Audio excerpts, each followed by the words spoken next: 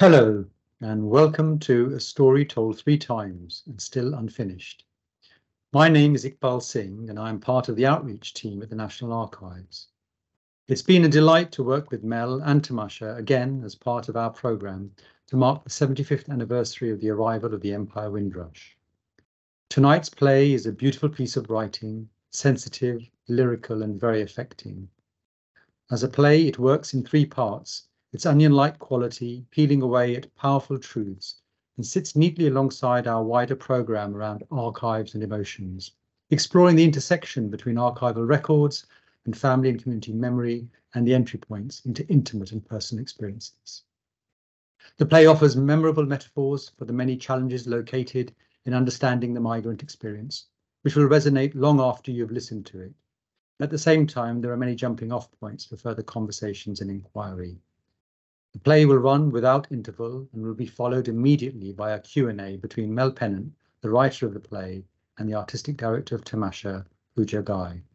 The audio is accompanied by a transcription. However, to enjoy the sound quality at its premium, it's recommended that you listen via headphones. Please enjoy the play. Thank you.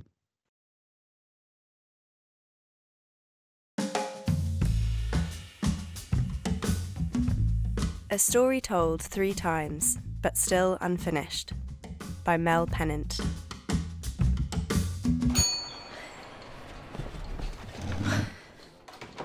So, every other Tuesday, I meet up with my sister, Glory. She's a year, three months, and two days older than me. She came first. She's more sophisticated. Well, put together. Uh, taller by half an inch, always on time. I always get a hot chocolate with marshmallows and sometimes cream. She always gets a skinny, Skinny latte, latte, oat milk, milk, hot milk hot in a milk cup, in a not cup, chipped. Not chipped. So, what's your big news then? I've only been commissioned to write a play. and it's actually going to be put on. T! Oh my god! So, come on, T. Tell me all about it. Right, well, um, it's got to be a play with a historic angle. Is that it? That's broad. Well, actually, it's got to be about Windrush, Windrush 75. And there's this silence. Windrush 75? But wasn't that like back in June? what, like Black History is only ever in October? Shut up. I'm making this funny face. That's because she's normally the one to come out with that kind of stuff. Sarcasm. I've only got one sister. She's it. And we know each other like the back of our own hands. So why you? She's looking at me hard. To write the play. To write this play, I mean. I blink. I presume it's not just because you're. And now she's given me a funny look. The silence and the look says it all. I'm an aspiring playwright. I can write about anything, don't you know? The oh dear look turns to concern, and that's when she turns her eyebrows up. I'm, I'm thinking of making it about great auntie. Um, what, what was her name? You know, um, uh, mum, mummy used to take us to visit her in Easton. Um, I remember she always used to say, I was one of the very first nurses to come here, don't you know? By special invitation of the government. One of the 34. You mean great Auntie Dolores?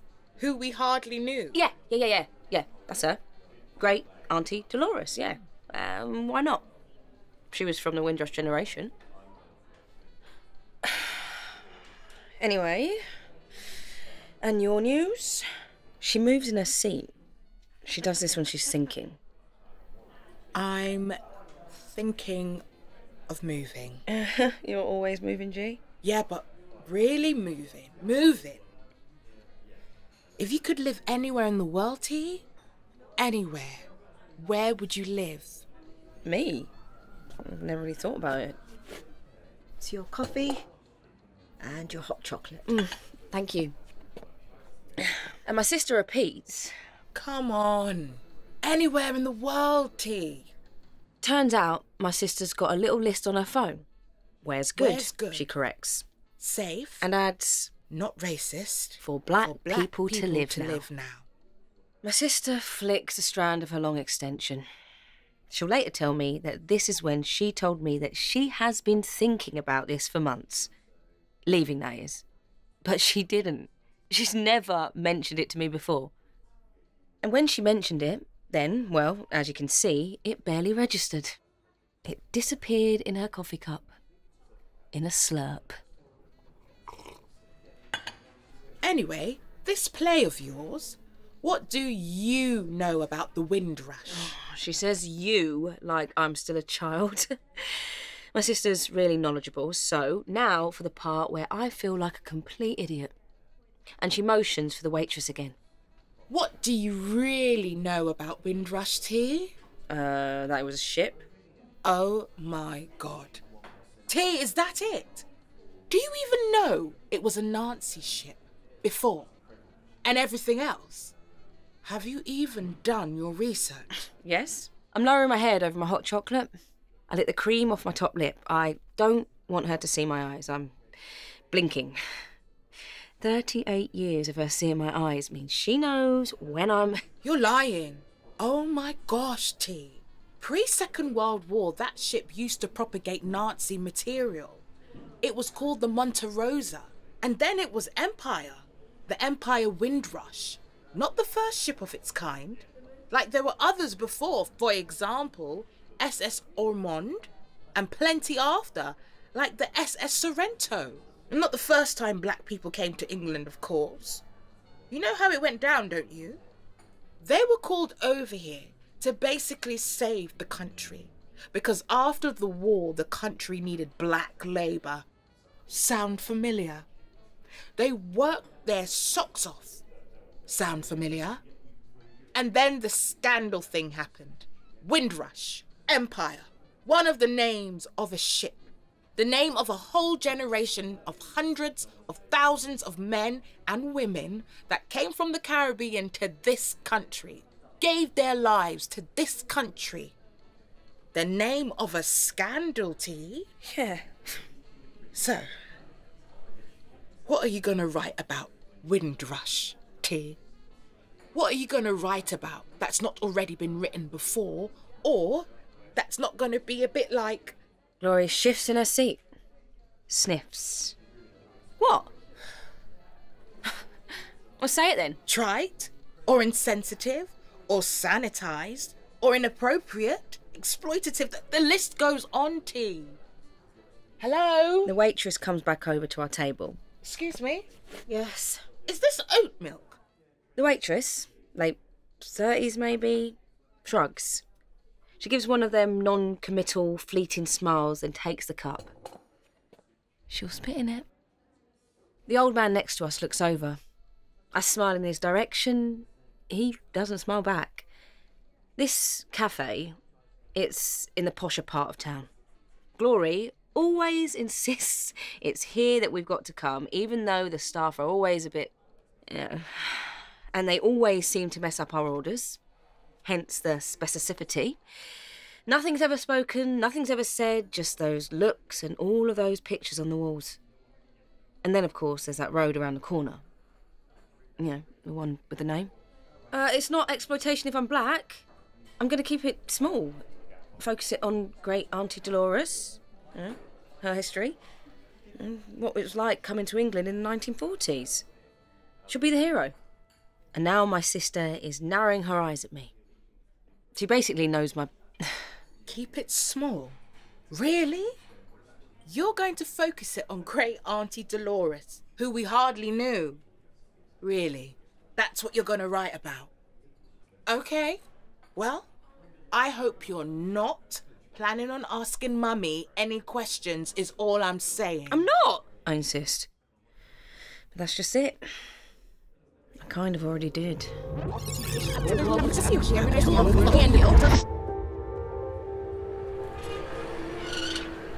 On the Sunday before the Tuesday, I went to visit Mum and I told her my news.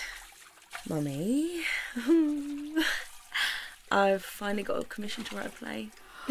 and she stops what she's doing, dries her hands, and she turns around and she hugs me. And when I say hug, I mean really hugs me.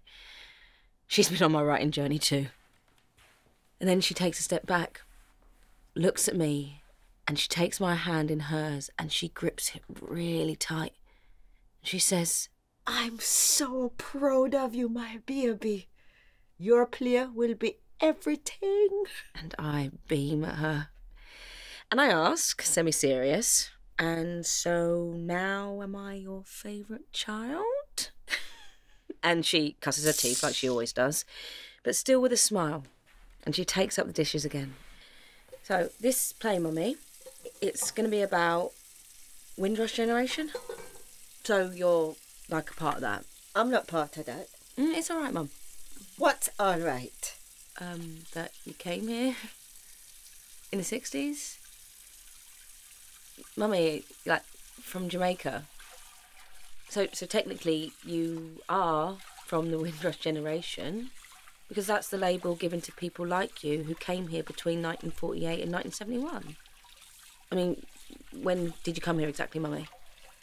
Wait, I'm just going to record this with my phone, Mum. So, Mummy, can you tell me? Noah. Just about. Noah! Okay then. Well, I'm thinking of basing it, the play, on Great Auntie Dolores. Used to take us to go and see her when we lived in Easton. She used to say she was one of the very first Bristol nurses sent for. One of the 34? So, Mummy, can you tell me about Great Auntie Dolores? Any info you got would be really, really helpful for the play. Please tell me about her. Tell me about you as well, Mummy. So, this was the first time my mum told me her story. So, listen carefully. It's enthralling, really illuminating. She really gives out a lot of detailed information. What about me? How did you get here? Did you come on a boat? On a boat? Which part?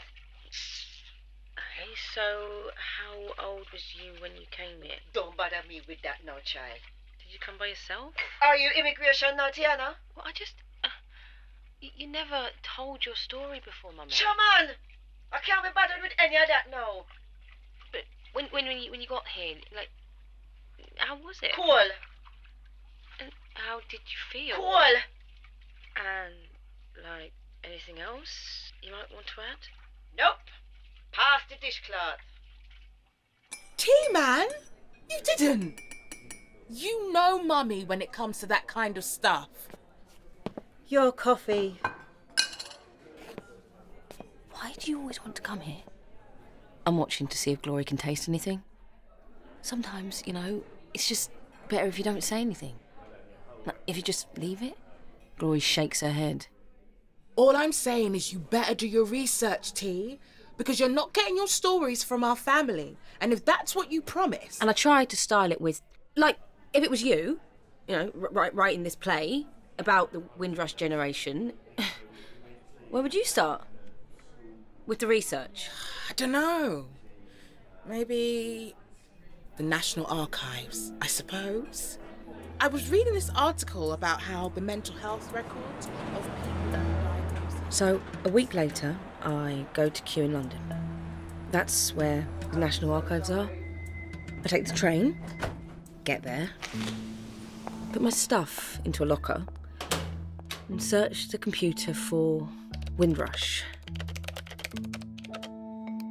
And several files come up. There's already loads of information because of the 75th. I'm initially looking for my angle though. Great Auntie Dolores. Information about Bristol nurses, the 34. I was one of the very first nurses, one of the 34. They sent for me directly, you know? By special invitation. They called for me. So I call up all these files and I start reading them.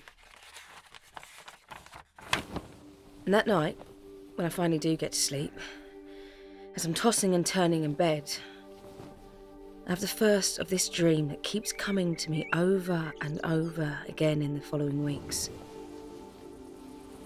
So I'm in a field. I can feel the grass under my bare feet. And there's such a sense of freedom and connection with the land around me.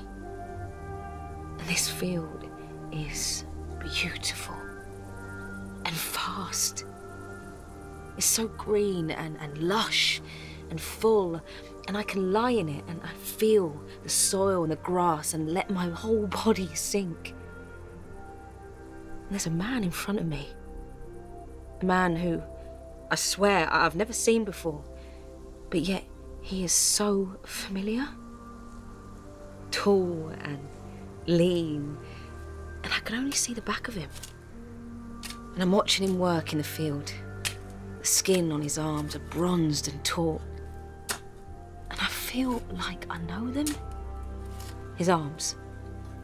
Like I've been in them. The way he holds himself is so upright and proud. But when he goes to move off, he has a limp. And suddenly he, he turns and he's got all these things in the breast pocket of his shirt. The whole world in his breast pocket, including me. No, that, that can't be right. And then he turns and he taps his breast pocket and he says, I never forget you, you know. You are right in here, son. Always.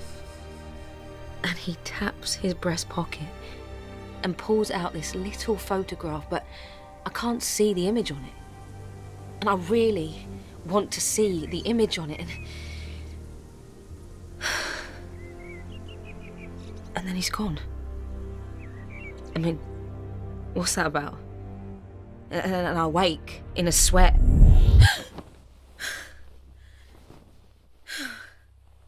and I'm already half an hour late for a meeting with my commissioners.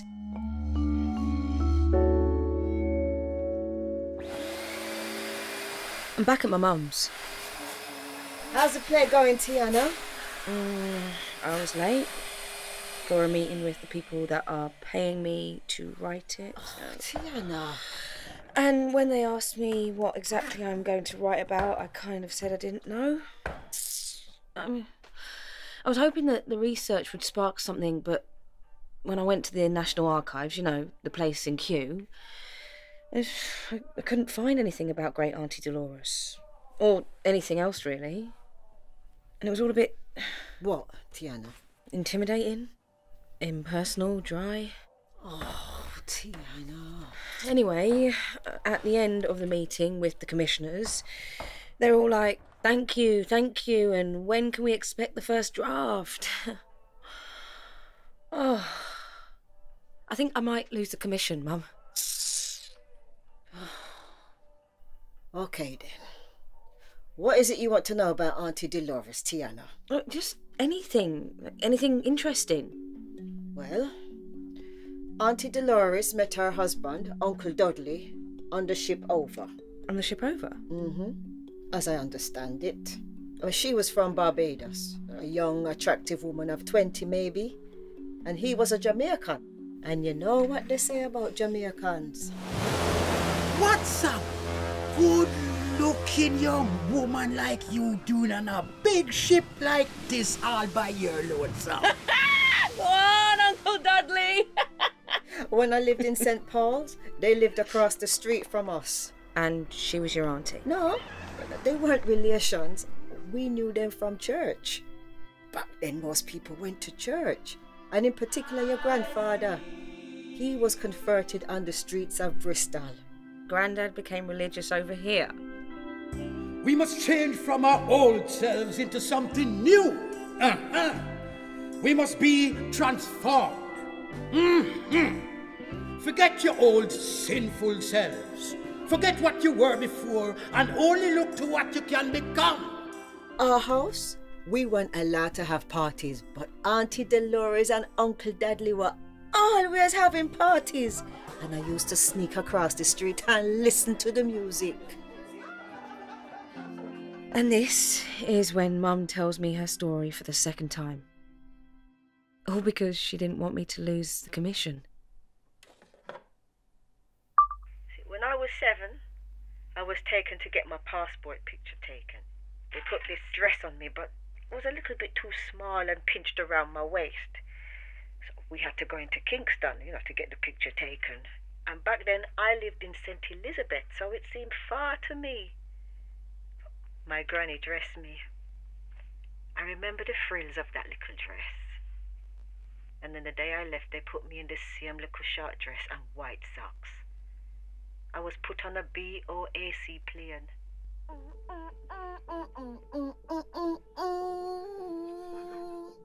When I came to this country, the first thing I remember was the smoke. I thought I was coming to live in a factory because of the smoke coming out of the chimneys. And it was cool. It was a different cold to the cold you get nowadays. we used to put the jelly and the milk on the windowsill. That's how cold it was. And your mum and dad? Nanny and granddad? My mother? Well, she used to go out early in the mornings to clean. She was a domestic and she worked very hard. I looked after your Uncle Norman and Uncle Stanley them times. Got them up, took care of their breakfast, and got us ready for school. And your dad? We hardly ever saw him. He was gone away a lot for work. and he worked very hard on the railways. But one thing your grandfather didn't take was shit. You want some of this? You want some? Well, come and get it then. Hold on. And Mummy goes upstairs and she comes back down with a little stamped black and white picture of a little girl. Looks six or seven, hair parted, huge white ribbons on each side, and she's looking straight into the camera. My passport picture. I feel like. I feel like I've seen this picture before somewhere. Oh, you were so cute. uh, okay, uh, what about school when you came here? At school, I got on all right, I suppose. Did you ever experience any. It was a different time then, anyway. And then she stops and starts looking into the distance. Out of the window. Mummy? You go back to that place, T, to the National Archives, and you'll find what you're looking for. There has to be something there of importance to your story. You find it. Do you understand me, Tiana, right? And she reaches out and takes hold of my hand again and grips it in hers. Mummy, um, was there ever a man who used to work in a field that we knew? He used to carry lots of things in his shirt pocket? And my mum's shaking her head no. What man? Um, he had a limp, I think. And I swear, the blood drains from my mum's face and she lets go of my hand. And she rushes back to the Hoover again and she does something that. something that I won't talk about now. Um, it's something that I've never seen her do before. And the next morning, I go back to the National Archives. Despite worrying about Mummy, I spend all day with the archives. I don't leave until it gets dark.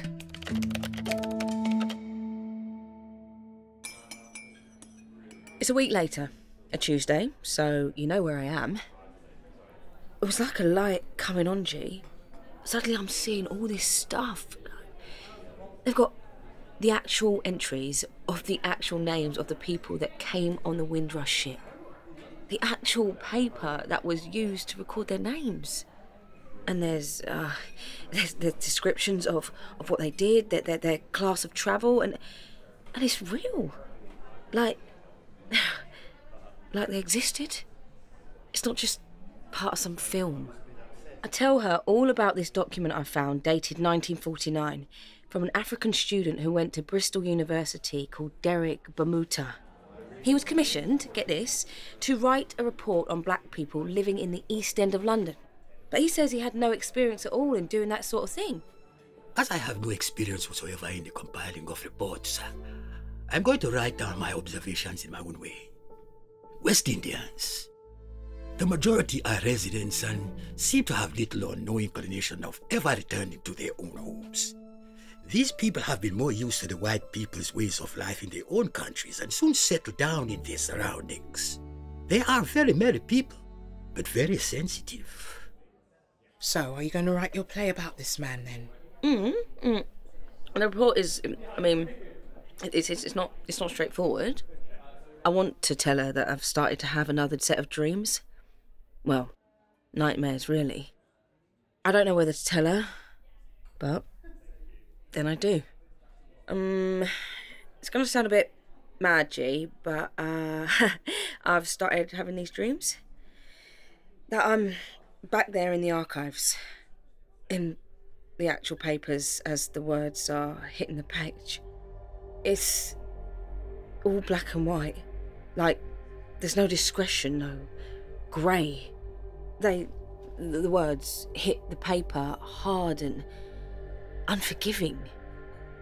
They are there, they will always be there, and they can't be taken back or changed. Though in some of the papers you see that crossing out, but the original words, the original words are always there underneath. And I kind of get lost in all these words and I can't find myself.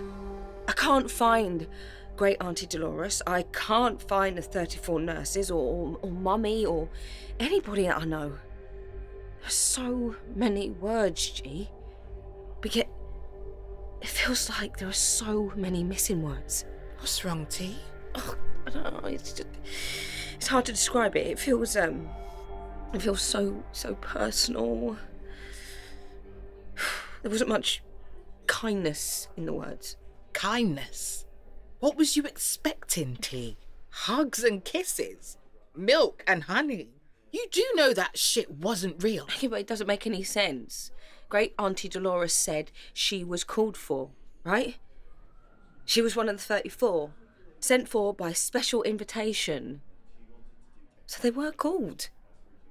But the stuff I'm seeing doesn't look like anyone was calling them except eh, to call them a problem. The Jamaica problem. The problem of these people. They were called, they weren't called. They were seen as the solution, they were seen as the problem. I don't understand it. I want to tell her what happened after Mummy turned the Hoover back on. That I'm worried about her.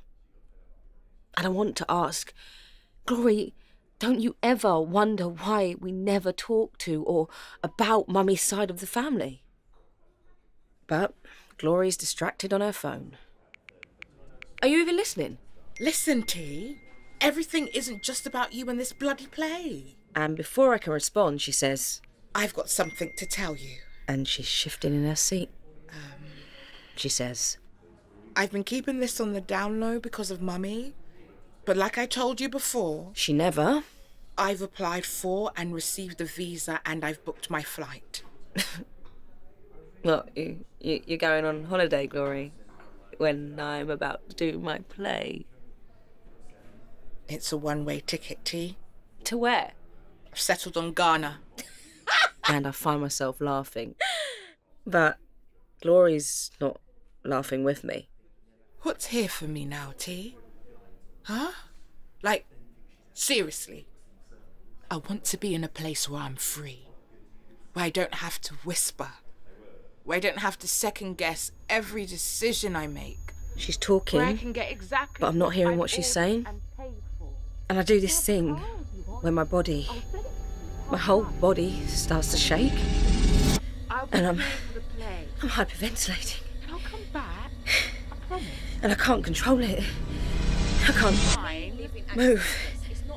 My, my, my, my feet feel like lead, and my head is all fuzzy, and I don't know what's happening to me. I'm, I'm sinking.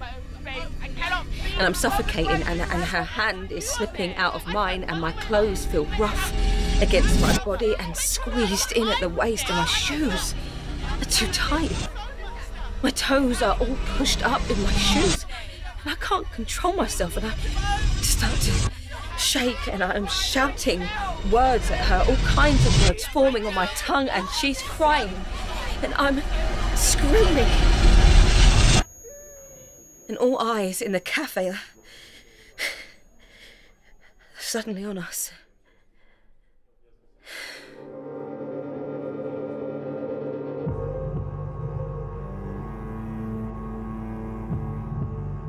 It's six weeks later, and I haven't written a word for the play. And there's a deadline, a proper timetable, a blog. There's meant to be a rehearsed reading, and I can't even get a synopsis together. I don't even know what to write. And I've stopped dreaming about the words and the man. And instead, there's this big hole where he used to be. It feels like my insides have been ripped out. I feel alone all the time. As I enter my mum's house, mum says, Why are you wearing a hat in the house, Tiana? and I don't want to tell her that my hair's starting to fall out. Every day I find clumps of it on my pillow. What's wrong with you, Tiana? I haven't spoken to my sister since our argument, and now I'm sitting in Mummy's front room because Mummy said if I don't come, she'd disown me. My sister's late, and when she eventually turns up, she says, How's the play, Tiana? Oh, I want to kill her. She looks removed. Her hair's cut. She's wearing a dress I've never seen before. But her face, the way she walks, is all different, shifted. And when she says, How's the play? Oh, I swear she had an accent. She hasn't even left the bloody country yet. Oh, uh, I brought you a latte. It's in the kitchen. Oh, I don't drink those anymore. Now listen here, the two of you. I'm not having you behaving like this. You hear me? I'm not having it. My mum is waving her finger in the air. My sister just sits there with her face turned away from me. I can't remember the exact words that came out of my mouth. I know they weren't nice, but she said some unkind things too. This is the one life I've got. And this is the one life you've got. And you've only got one sister. Do you hear me? Tiana? Glory! Then Mummy does something I've only seen her do once before. When she was doing the hoovering. She starts to cry. Mummy? Mum. And my mum wipes away the tears and she motions for me to. Go get your phone, Tiana. You start recording. And then my mum tells us her story for the third and final time. My sister. Uh, you haven't got a sister, Mum. You mean us? And I look at Glory because this is how it starts dementia. My sister was born on a Saturday. N- n- no, Mummy. You've only got two brothers, remember? Uncle Norman and Uncle Stanley. But Mummy just continues. And because she was born on a Saturday, my granny gave her the name A. Marie. You've got a sister, Mummy. She was one year, two months, and three days older than me. And she was standing right next to me in that picture for the passport, holding my hand because I wouldn't take the picture unless she was in it. Even though she wasn't. In the end, them cut her out. And because she was the oldest, they must have decided she should be the one to steer. Of course, I wasn't told. She wasn't told. Even though she knew everything. She said England, which is where our mother and father was, was going to be just like heaven. The streets was going to be all white and the queen was going to greet us off the plane as she had both of our hands. And I said, Isn't Papa and Granny our mother and father? Because them times I didn't know we had anyone else, you see. My papa and my granny grew us. God, my papa was my whole world. I used to lie in the field behind the house as a child and watch him work. I was two when our real parents left us. Two? Mm. And when I got to England, into the little house that I thought was a factory, I walked straight past her. The woman, my mother, she was cleaning. I thought she was the cleaner. and she let me go right past her. She didn't say one word. She didn't touch me. I was only seven. My mother would say, Shush your eyes now. You're ungrateful. You is so ungrateful. Look how I work to send for you, and look how you is ungrateful. See, when I came to England, there was already a family. There was two little boys, five and four, born here. I didn't know them, and they didn't know me. They would say, Why are you here? We don't know you. We don't want you here. You're not one of us. And as we grew well, they was the English picnic. I was the one from backyard. From country, always behind, always running to catch up. Ernestine, hurry up! Hurry up! They already started their story in the beginning. I entered at chapter 3. Ernestine, why you haven't cleaned the step yet? Ernestine, go and get your brother's change. Ernestine, what's wrong with your child? You have ears? You can't hear? You have a tongue? Me tell you to speak. Shut your mouth. Go, come, sit, stand up. Well, it's what you waiting for. That's not how you do it. Don't be so stupid. I was only seven years old. Maybe my mother didn't know no better. She was barely a child when she had my sister. Fourteen. Sixteen when she had me. Jesus. It was different them times. But I was a child when I came here. I was only seven years old. And I would say, I want to go home. I hate it here. I want to come home and I don't like you. And they was working hard. Working to send money back home. Working to keep a roof over our heads. Working through brick walls and people telling them they wasn't good enough and they was working hard on being good enough and English enough and trying every day to forget what they once were, to be born again so they could survive. You want some of this? Yes, Jesus! You want some? Mm, When I came to England, I would wake up to find clumps of my own hair all over the pillow. And when I went to school one time, there was blood on my legs. The vessels had burst, you see because of the cold. I was so ashamed. I didn't want anybody to see that my legs wasn't just like everybody else's English legs. And at school, they called us all kind of names. Samba, chocolate drops, and worse, the teachers too. And I wrote a letter to my sister, wrote in the only way I knew how. Dearest Riri, Everything fine. It's lovely. And I'm grateful. The streets is white and everything is fine. I didn't meet the Queen yet, but I'm hoping to soon. But one time in one of my letters, I wrote, I don't like it. I miss you. I miss Granny. I miss Papa, and I want to come home. When can I come home? Please, can I come home? But your Uncle Norman read the letter. You ungrateful picnic about you want to go home. But you don't like it here. Liar! This is your home. Don't ever write such filthy lies again. What happened to your sister, A. Marie, Mummy? And now my mummy's whole body starts to shake. And she's hyperventilating.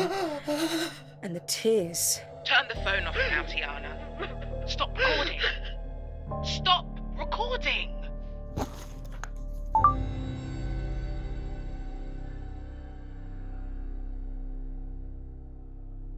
It's Tuesday. It's January. I'm in the cafe. I go to the counter and I wait in line. And I tap the woman in front of me on the shoulder and I say, Excuse me, what do you know about Windrush? And she says, Uh, wasn't that a ship? And I turn to the old man behind me and I say, Excuse me, what do you know about Windrush? And he shrugs and looks at me like I'm mad. And I go to another woman and she says, One of them, are you? Political. I order tea, no milk, no sugar, and a skinny latte. Oat milk, in a cup, not chipped. And I go to sit at our table in a corner. And the waitress brings over our order. One tea, one coffee. And I ask the waitress, What do you know about Windrush? And she says, Sorry? And I stare and I study the back of my hands. And then I just stare out of the window. And I know you're not coming. But I wanted to tell you that I'm not going to write the play. That important thing that Mummy said I would find in the archives, well, I've found it. Or rather, I've made sense of it. When we stepped off the ship, the cameras, the flashlights were all pointing in our direction, at us. But the camera needs to turn. Turn, turn, turn, and face the other way. All the other ways, 359 degrees. You see, this story isn't just about us. And that's what I found in the archives. And we need to have our own conversations in private. The ones between you and me and Mummy and Great Auntie Dolores and Grandma and Great Granddad, the man with the pockets filled with the world, and his mum and dad, and their mum and dad, and their mum and dad, and their mum and dad, and their mum and dad, and their mum and dad, and their mum and dad, and their mum and dad, and their mum and dad, and their mum and dad, and their mum and dad, and we haven't even properly begun to start having those conversations yet. See, what I found out was that it's my story. And I never thought it was before, to be honest. It's mum's story. It's mum's mum's story, but it's also the waitress's story and that woman and that old man at the counter story.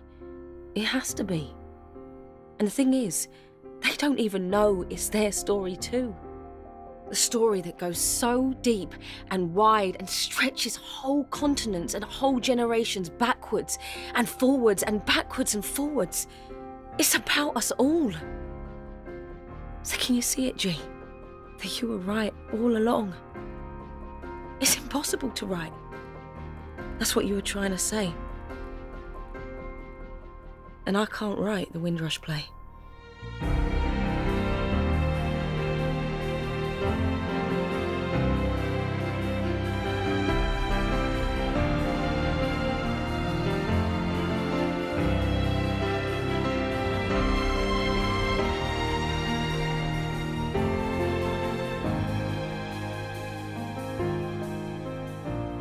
Tamasha and the National Archives presentation, written by Mel Pennant and directed by Anastasia Osei-Kuffour. Sound design by Louis Blatherwick, featuring Nina Toussaint White as Tiana, Madeline Appiah as Glory, Susan Lawson Reynolds as Ernestine, Great Auntie Dolores and Waitress, Ricky Fearon as Man in Field, Derek Bermuta, Preacher, Uncle Dudley, and Uncle Norman. With special thanks to the Caribbean communities of London and Bristol, who shared their stories and testimonies.